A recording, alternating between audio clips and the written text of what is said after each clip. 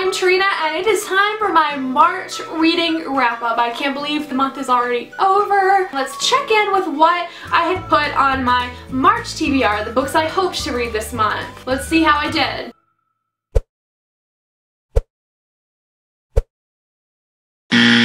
You can see that I read three of the four books that I was hoping to get to this month and I did actually start that fourth book but I didn't have time to finish it. And the reason that I only read three books and was only hoping to read four books this month is because, as you saw in that recap, I read a Game of Thrones this month. So I was trying to pace myself and give myself a lot of time for that one. But I like to talk about the books I read in the order I read them, so let's start at the beginning. I started out March by reading Red Queen by Victoria Aveyard. I picked this one up because it was one of my most anticipated releases of 2015. And if you don't know what this book is about, I would definitely classify it as dystopian fantasy. And this is a society that is built around red bloods versus silver bloods and the reds are ordinary human beings like you and I and the silvers they have special powers like they can control the elements. And in this book we are following our main character Mare who is a red blood just a regular human and all of a sudden she finds out that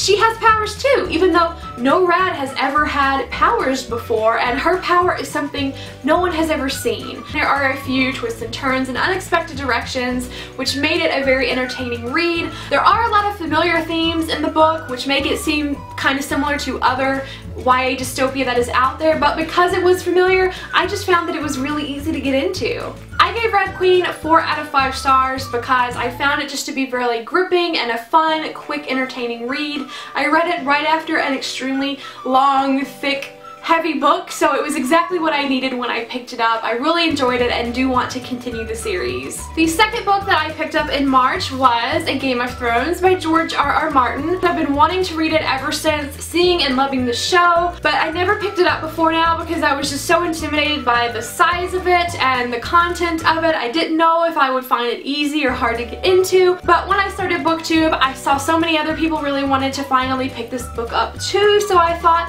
let's start a read along and people were interested in that. A lot of us did this together. It was amazing. It made for such a fun month. I feel like everyone's probably already heard something about this book, so I'm not going to summarize it other than telling you it's about a kingdom where everybody wants to seize the throne. I have a full in-depth review over this book, so if you want to hear more of my thoughts, you can click on over to that. This book is quite long, so it took me about two and a half to three weeks to actually finish it, which is why I didn't get to very many other books this month, but that's okay because this was over 800 pages. That's like four small books, so I'm okay with that. A Game of Thrones was also counting towards my March TBR Jar Challenge pick, which was to read a new to me author, and I gave Game of Thrones 5 out of 5 stars. I really enjoyed it, and that makes it my first 5-star fiction read of the year. Yay! And the last book that I read in March was Hide and Seek by Sara Shepard. This is the fourth book in her Lying Game series.